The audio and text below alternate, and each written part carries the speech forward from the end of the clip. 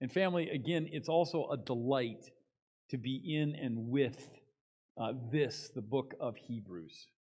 Um, it has been a, an incredible challenge and a reminder of its, its, its authority to us, for me.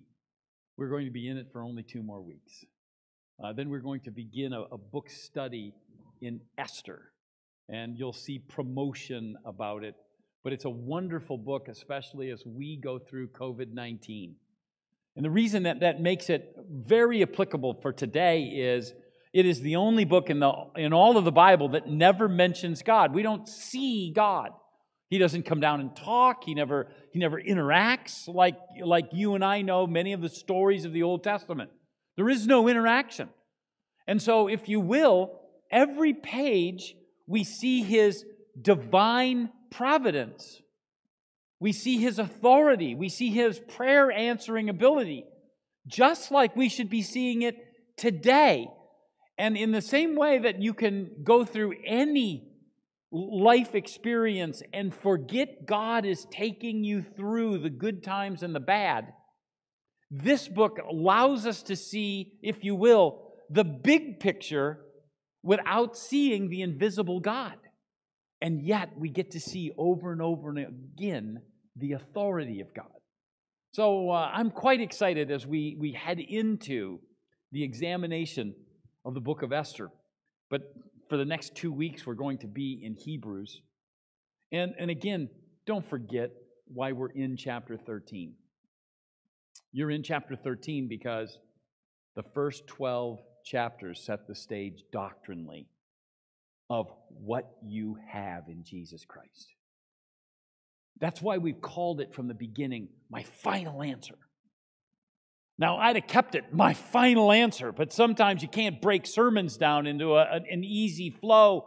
But then we remind ourselves that, that it's the greater thing, and, and no other plan in the past, Moses or the sacrifices, the high priest, nothing in the past is in any way superior or even comparable to what we have in Christ.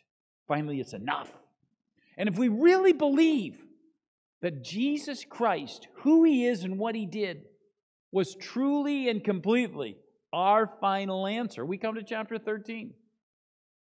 And in chapter 13, we find the application of that. If he's really your final answer, you'll recognize that we come to chapter 13, verse 1, and he talks about brotherly love. Well, forgive us, but we don't love each other because we like each other. We love each other because we're family. And to that degree, we are lovingly stuck with each other. We, we know the same heritage, we have the same dad.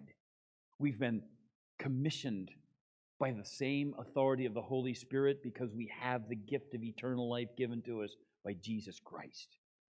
And so you need to understand we don't need to merely like each other by personality, like each other by, by the way in which we make each other laugh or, or we enjoy each other's company, but we have a bond.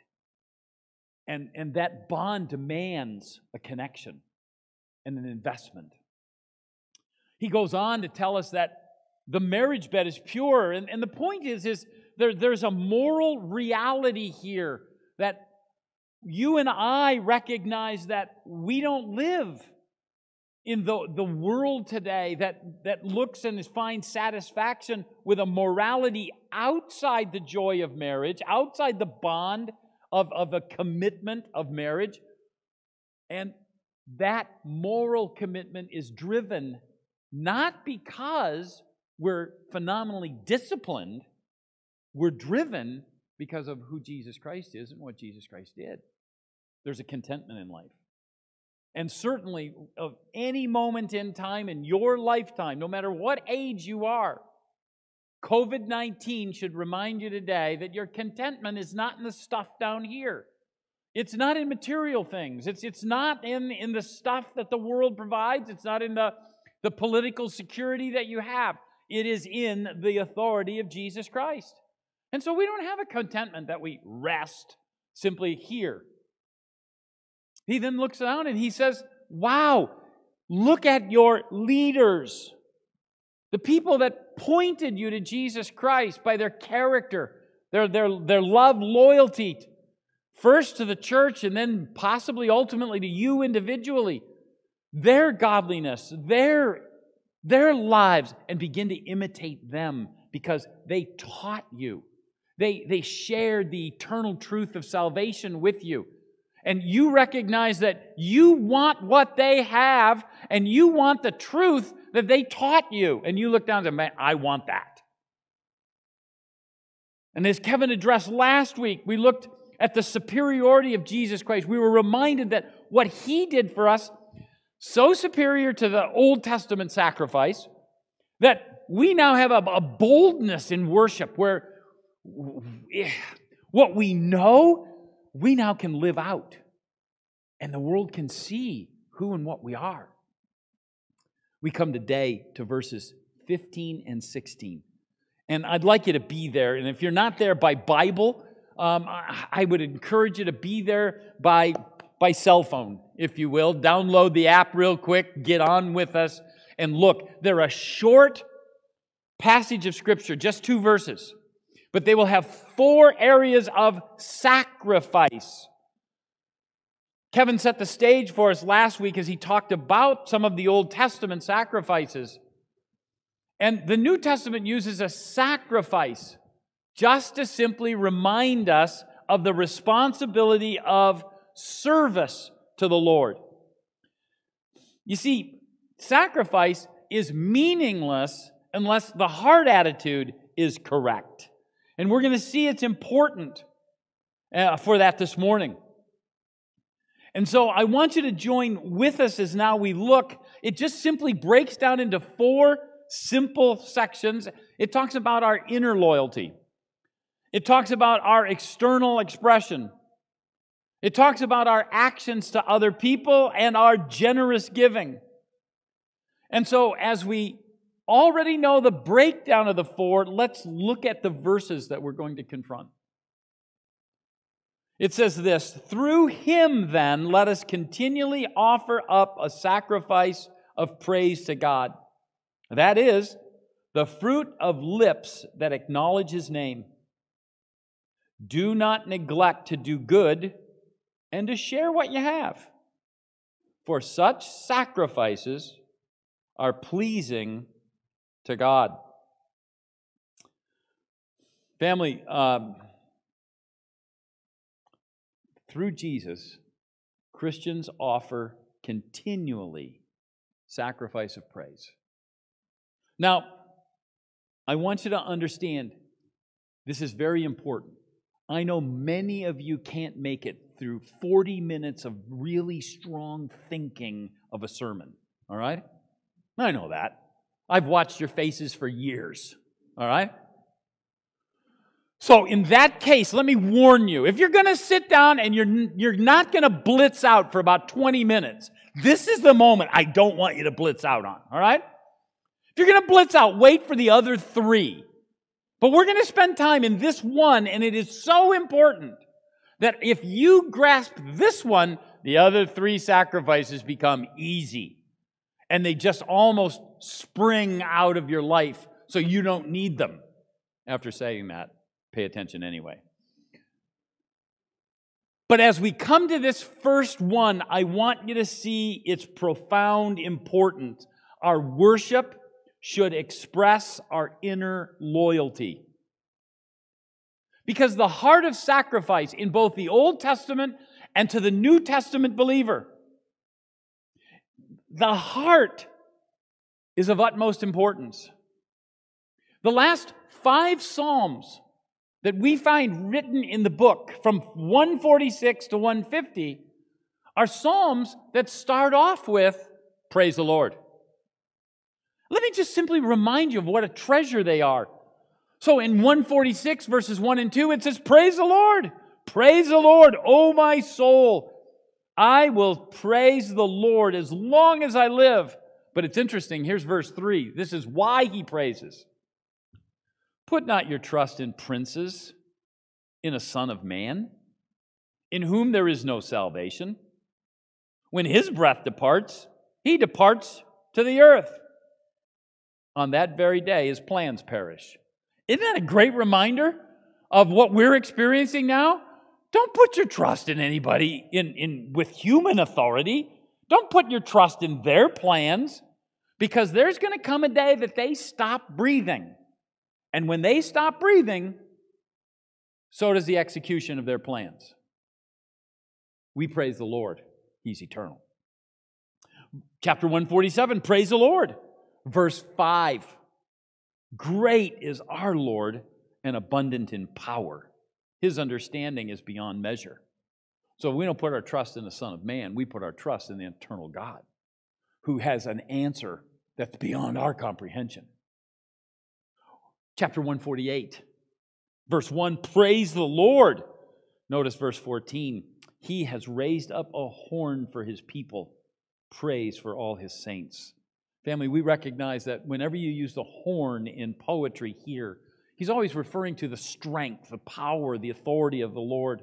And so he has raised up a power. Ultimately, that power is the Messiah, Jesus Christ, who is going to supply the ultimate strength, the ultimate opportunity to live out who we are in Christ here on earth and knowing that we have the strength to go then eternally.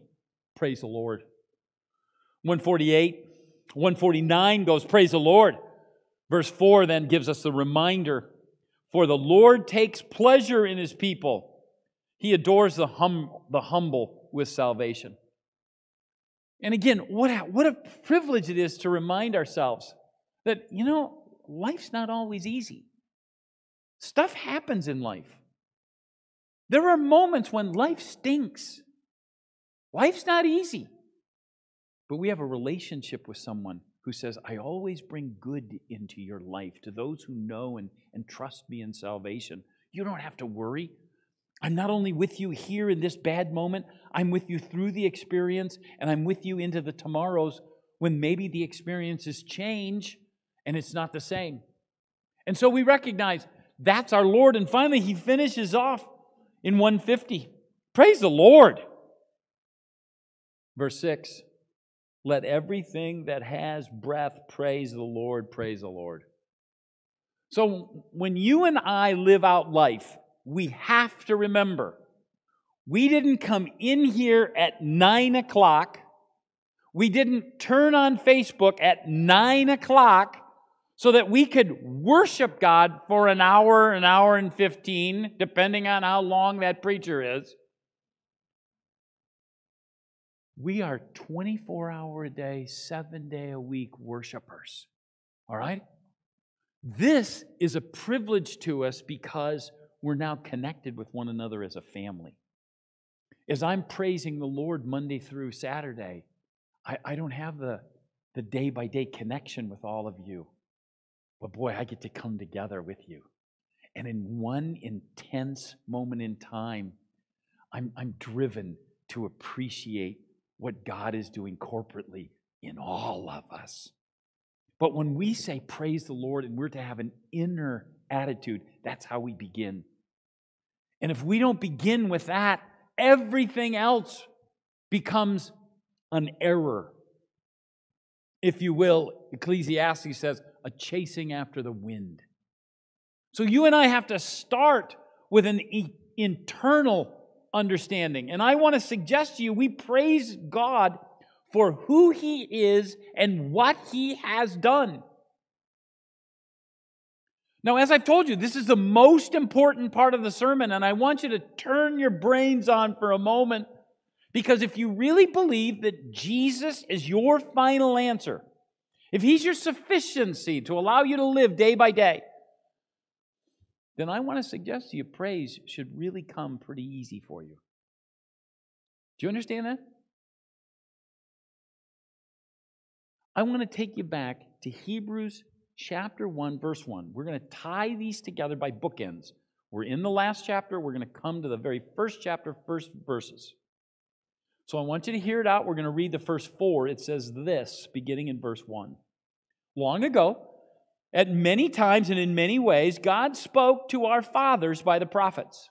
And in these last days, He has spoken to us by His Son, whom he appointed the heir of all things, through whom he created the world.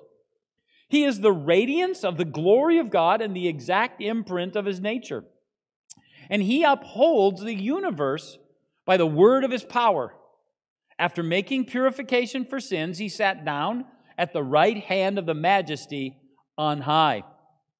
Now, family, in order to remind us of our internal loyalty, I want to look at three quick phrases. The first, he created, in whom also he created the world. Family, I want to remind you this morning, he created the world out of nothing. Now, what's important for you today is I need you to turn that wonderful thinking cap on. And if the if you're more creative than some, you'll appreciate it, but those of you who are not creative, I want you to walk with me. Follow along. Listen to the oxymoron of this short sentence. He existed in nothing. He is a something. Something existed in nothing, and nothing was satisfactory to He. Do you understand that? Where did God sit? Where did God live? What did God see? What was there in nothing? Now, in nothing, the Trinity existed in first, second, Father Son relationship, Holy Spirit, in a dynamic appreciation of who and what they were in absolute joyful harmony. And in nothing, they were totally satisfied as they expressed love loyalty from son to father, obedience from son to father, knowing the eternal plan that they were going to lay out. And if you will, the Father and the Son's communication back and forth as the very Holy Spirit, as they speak to one another, as they address one another in love, and they are totally satisfied in that moment of time. And then the Son spoke creation. What was there before creation? Jonathan Edwards, one of the first of the great American theologians, tried to describe it this way. He says, If rocks could dream, they would dream of nothing. Forgive me, but on one level, that's very funny. And on another level, deeper than you and I can appreciate. And then the Son spoke. And when the Son spoke, the universe came alive. When the Son spoke, there became an earth. Then earth's water is set by boundaries, and the brown dirt held it in place. Family, understand it sprang forth with an incredible change that you and I often cannot fully comprehend. He shouted, and the stars came together. And you look and you see the cluster of the Pleiades, and they stay together as a reminder to us of his authority. And we recognize as we look at Orion's belt, the three stars, it was God who set them in place and buckled them. Family, it was God who put together the purple that you and I identify as a plum, waiting for the eyes of a human that he made by the doodling of his creative finger in the mud and the slime that he created from nothing for that mud to dry and those eyes to see that purple plum, and those taste buds that came out of that creative genius that made you. Your taste buds recognize the sweetness of that plum and enjoyed that plum and thanked God for the gift. Family, He's the creator. He's the creator God. Secondly, He's the exact radiance of the Father. Family, you and I don't really fully grasp that because we don't fully grasp that the radiance reflects the holiness of God. And if I would ask and pass out a piece of paper to all of us today, and we'd all write our own definition of holiness, I want to suggest to you, as, as many people as, as here in worship this morning, uh, we'd all have a different definition. So let me suggest to you the simplest, and that might be separation. For whatever you think of as purity, God's as far separate from your definition as you can possibly imagine. When you identify purity or spirituality or uniqueness, He's as far away as you can think of. Family, we see in Isaiah chapter 6 uh, a strong moment in the, the work of Isaiah the prophet. And he's describing a scene of God being in the temple, he in the temple with him. And we're not going to go through it. I want to read one verse about this incredible character. He says this beginning in verse 2. And above him, or above him, stood the seraphim. Each had six wings. With two he covered his face, with two he covered his feet, with two he flew. And on one called to another and said, Holy, holy, holy is the Lord of hosts. The whole earth is full of his glory. On the foundations of the threshold shook at the voice of him who called. So, family, only in this moment in the Bible of the seraphim mentioned, we don't ever hear of them again. And yet, their power is sufficient vocally to shake the very foundations of the temple so that he felt like he's in a small tremor earthquake. Two of the six wings that they had, hear me out, covered their eyes. They were in front of the holy, majestic God.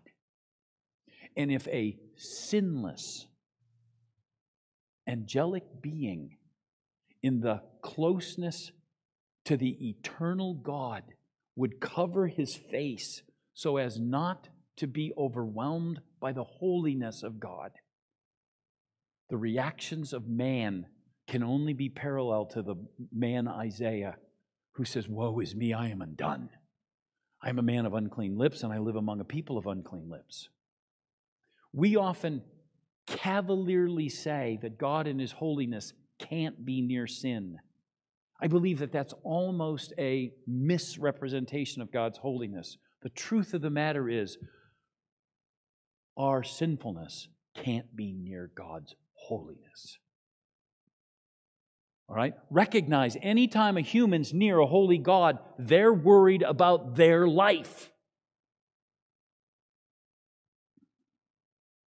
So God could present himself and say, I am totally and completely other.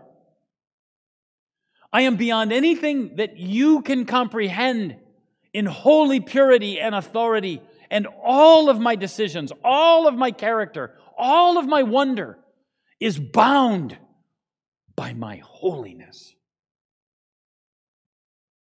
I want you to notice the third of those phrases making purification for our sin. Please put all of them together. The Creator, who made the world from nothing, forming us with his finger in the mud. The Holy One, too radiant to present himself undiluted before us, leaving us mindful of our inadequacy, leaving of our, mi- of our minds overwhelmed by our sinfulness, took on humanity, dying for our sins and offering a purification that takes away the wrath of God and allows us to be in relationship with Him. Family, when our insides confront the reality of who Christ is and what Christ did, the external realities of these final three sacrificial behaviors should come easily. You see, if you really understand who God is, then the admitting that you and I are sinful becomes an easy task. You see, you and I can't make it. Our sin is something that we'll never, never clean ourselves up, capable of standing before God. If Isaiah the prophet is completely overwhelmed by his majesty, where would that put any of us? And so to admit that we're sinners should be a very easy step. To look down and go, wow, I have no hope. I'm finished. And recognize what Jesus Christ did in purifying our sins should now give us pause and we run to it in belief. Wow, the one who is the radiance, the one who's the creator, is also my redeemer. Oh my goodness, I believe that. And so as I commit my life to it, the reality of confessing my inability, proclaiming his exalted gift to me, becomes a privilege that I now have eternally and have a chance to live out to a world that desperately needs to see. And so a sacrifice externally should now be a natural expression of who we are. Notice, if you will, our worship then is expressed externally. And it's found in the phrase lips or excuse me, fruit of the lips. It's a very rare expression in Scripture.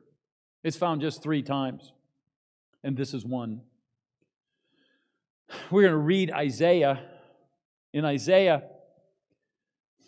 it says this, chapter 57 I have seen his ways as God explains his work to us in redemption. He says, I have seen his ways, humanity's ways. I will heal him. I will lead him and restore comfort to him and to his mourners, casting or creating the fruit of the lips. He's the one who engineers praise here. And here's our praise peace. Peace to the far and to the near, says the Lord. I will heal them. And as we are healed through the purification of our sins, the natural outgoing of who we are is the fruit of our lips of our praise. So you need to be reminded. What comes out Monday morning at work should reflect the fruit of our lips.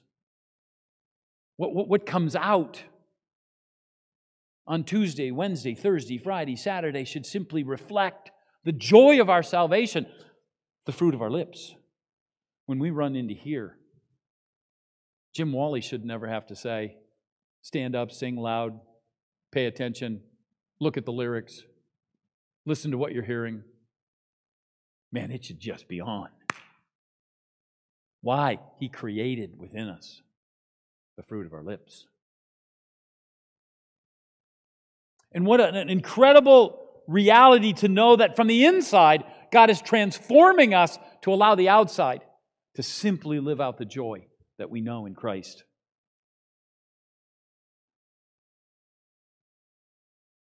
You see, one freed from spiritual debt should express to others how much the Savior means to us. I want you to notice, thirdly, our worship is expressed in actions to others in Christ. Now, before we look at this, he just says, do good to others, and it's a generic phrase. But I want you to, to know very certainly that if we're talking about sacrifice, we're not talking about a short, one time burst of activity, as if I took cookies to my neighbor. All right? That is a good thing. But when we're talking about a sacrifice, it's a change of my life for the impact of others. I'm, I'm helping someone out.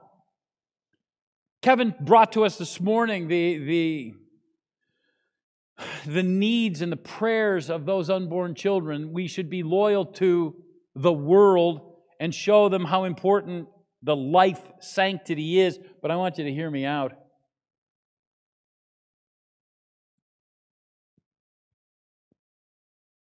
As they're born, and on their way to become pampered people, adults. They're kids all along the way. They're going to need your investment. They're going to need to see who Jesus Christ is.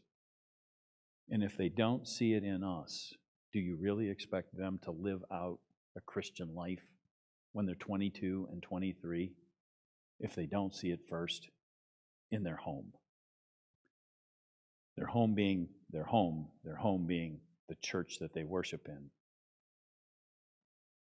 Family, so as we talk about the gift to others, the action, I want you to understand it as a sacrifice of who we are, the time we spent, the investments we make.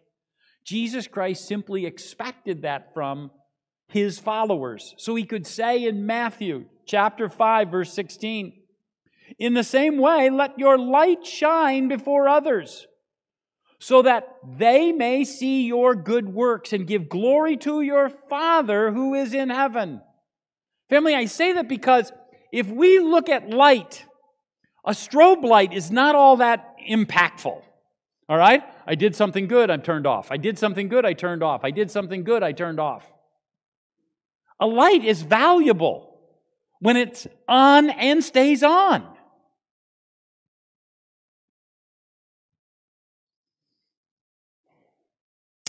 he could remind us of those good works are invested in our brothers and sisters in Christ. So that in John, he could say, A new commandment I give you that you love one another just as I loved you. As I made an investment to redeem you, make an investment of love in the brothers and sisters in Christ. So we obey the Lord. We extend our actions in loyalty to other believers. The Apostle Paul clearly taught that God has ordained that his people should practice good works. In doing so, Romans chapter 12 lists for us the very gifts that the Holy Spirit impacts upon us so that we may go out and serve one another. And He gives us abilities and He strengthens characters so that when we go out and serve, we do so with the power and the privilege of working with the Holy Spirit who's taking our works and energizing them supernaturally. So let's look fourthly. Our worship is expressed in our generous giving. So he says, share with others. The word there, share, we could immediately satisfy your conscience because it's the word koinonia, fellowship. And we have taken that word and watered it down so bad that we've turned it into a cup of coffee out in the hallway. What'd you do this morning? I had fellowship with a brother in Jesus Christ. Well, what'd you do? Well, I ate a cookie and had a cup of coffee. All right? Fellowship within Scripture describes the relationship between Peter and Andrew and James and John. They had koinonia with one another, they shared. In other words, Peter's boat was James and John's boat. Peter and Andrew's net were James and John's net. The success of James and John's net was shared by Peter and Andrew. Peter and Andrew's successes in that net were shared by James and John. They advanced because they were a team and they shared life financially. They shared life experientially. They shared life in the ups and downs. Everything about their lives were so cast together that they knew koinonia. And so he comes to us here and he says, I want you to have koinonia with one another. I want you to be so bound together that when I say share the financial responsibilities, when I say share in everything in life, you recognize what that means. So, our financial support of, of the Lord's work is a Christian sacrifice that we offer regularly, methodically, proportionately, and cheerfully. Now, let me tell you, both to our Facebook family as well as to those who have gathered here together this morning, you need to know that from the, from the elder's perspective, one of the great blessings of COVID 19 has been the ongoing ministry and what it's accomplished through the faithful giving of the church family. What a privilege. And those of you who have never put foot in door have been faithful in ways that have been a blessing and a monstrous surprise of the goodness and grace of Jesus Christ. And yet, at the same time, that sharing goes beyond. It's investing in the life of someone else who's in need. It, it's, it's, recognizing that someone else's shortfall may need to have uh, the blessing of our blessing to be in their lives. And so we offer sacrifice by sharing with others the good things that God has so generally given, generously given to us. Family, understand that ultimately Christianity is sacrificial through and through. It was founded on the one offering of Christ. And the offering of his people now is praise and property, of service, of the investment of their lives into the lives of others. It is caught up into the perfection of his acceptable sacrifice. And our sacrifices are now acceptable and pleasing to him. And so, family, understand as, we come to the end of Hebrews, and we, we see now as we're putting the final pieces together, that if we really have confidence that Jesus is my final answer, I, I rest on that foundation, that the impact of my life is such that every corner of my being is influenced by the demands of the cross to work itself out in my life and submission to Him.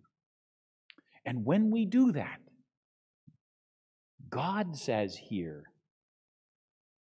that He's happy with us. Father in heaven, I'd pray you'd be with us.